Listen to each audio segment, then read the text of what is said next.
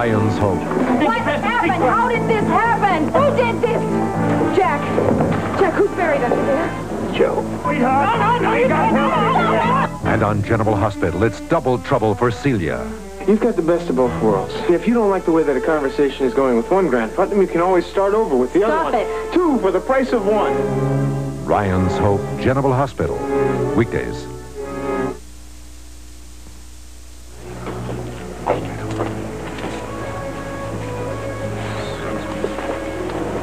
Mr. Callison, how are you? Simon, hello. Cassie's at the dress rehearsal for a school play. Yeah, I know. Uh, actually, I, I wanted to talk to you. Mind if I sit down for a minute? Yep, sit. What can I do for you?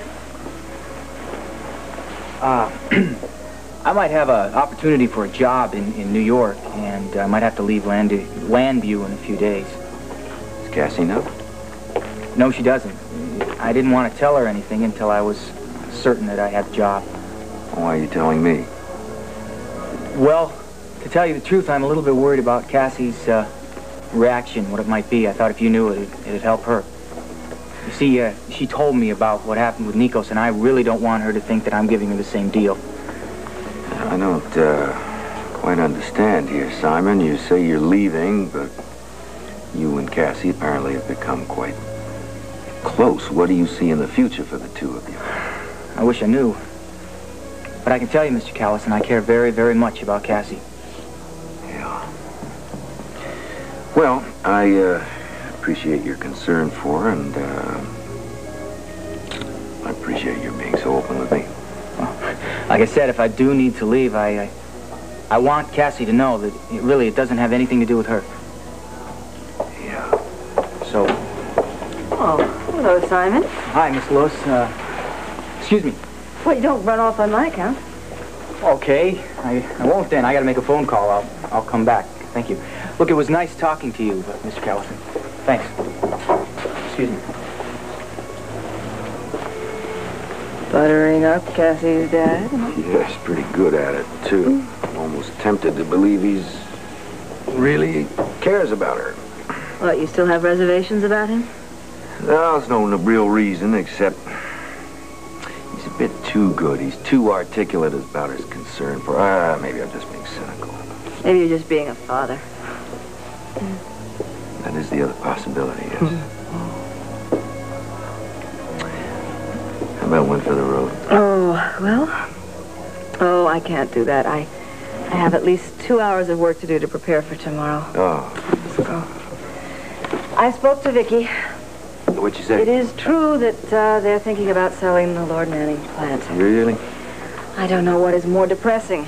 The idea that they might have to sell the plant, or that Derek Bland was right for once. well, uh, thanks for the uh, steaks. Talk.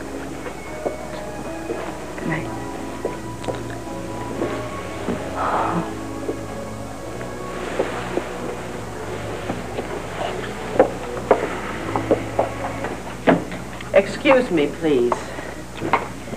Clint, I just had a, a call from Edwina. Oh, what is it? Well, apparently the National Intruder is going to publish an article about how I'm having to sell the factory to keep the paper alive. All very unflattering. Damn it. How did they get the story? I don't know, I don't know. An unnamed source. I'm going to be in the legal department first thing tomorrow morning and see if there's a case for libel. Uh, excuse me, uh, what, what factory are you talking about? Lord Manning. You're really thinking of selling that? They said we have to. We need the capital to keep the banner running. Well, it doesn't seem like much of a libel case to me. Well, probably not. The facts are all true, unfortunately. It's just the way they present them that's so awful. There's nothing else you can do?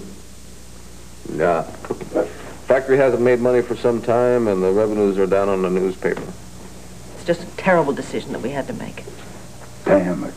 It only happened a year ago. I could have bailed you out of the banner, the factory, either or both. Thank you, sir. But with all the money I lost in San Carlos, I'm sorry to tell you, Vicky, I, uh, I am strapped for liquid assets.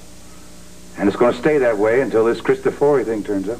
All right, now, Paul, just, uh, this, this isn't the time to go into that, all right? Oh, sure, Glenn, sure. I just mosey along. It's just a shame you can't be honest with kin. Damn it, now can't you see that my wife is upset? I'm sorry, Vicky. I know you got your problems. I'm going to tell you something to tell your brother. I came over here to make peace. He was pig-headed, feuding and fussing. You boys want it that way. Hey, you're going to get it that way.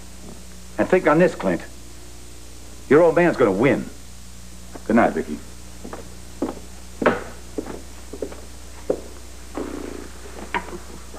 I'm sorry, honey. Oh, it's perfectly all right. I'm getting used to it. All you two, all of you yelling at each other. I am much more worried right now about what those Lord Manning employees are going to think when they read that National Intruder article. It's bad enough they're all going to lose their jobs soon enough. I'm so sorry that all this had to happen. Mr. Narrator. I just got your message and uh, I came right over. Well, that's very good of you. It really wasn't necessary. no trouble at all. For the maestro, 24 hours service. what seems to be the problem? I uh, tuned it about uh, two months ago. It shouldn't have lost its tone so soon. Of course, with an ear like yours. No, uh, no, no. It's really, uh, uh, it really uh, doesn't have anything. No, no. The piano. Look, the piano is in fine shape. You did a brilliant job of tuning it. Actually, what I need is some information. Information? Yes, I was wondering if you had in your travels around Llanview come across a Cristofori piano. Cristofori. The absolute bane of a piano tuner's existence. Yes, there's one at the Vernon Inn, and I don't mind telling you, it's been giving me an absolute ulcer. It's a beautiful old thing, but doesn't want to seem to stay in tune to save itself. Where? At the Vernon Inn. At uh, Mrs. Lucinda Shank's supper club, the one that they keep saying is about to open. You can't miss it. She's gone and had the poor thing painted white. Mr. Narringer, you have been of unutterable assistance to me. You will never know how much I appreciate it. Oh, well, thank you, Maestro. You have a special fondness for Cristoforis. I certainly hope so. Come on, I'll walk you out. One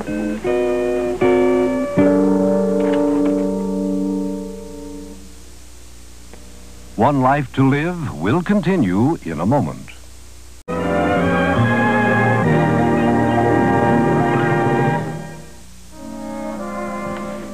Stop. What? Before you come in, I want to know if you did what you said you were going to do.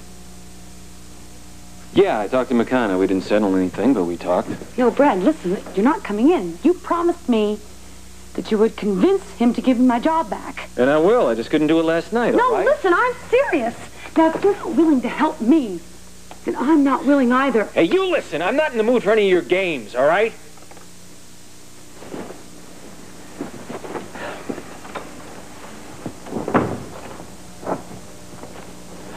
Take it easy, really. Um, I wasn't serious. I wasn't serious, really.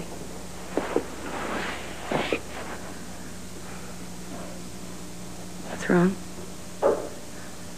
Why are you acting like this? I'm sorry. I just have a lot of things coming down on me, and it's, it's getting to me, that's all. Can I get you something? Maybe a drink? I'll, I'll make you something to eat or something. No, thank you, not right now.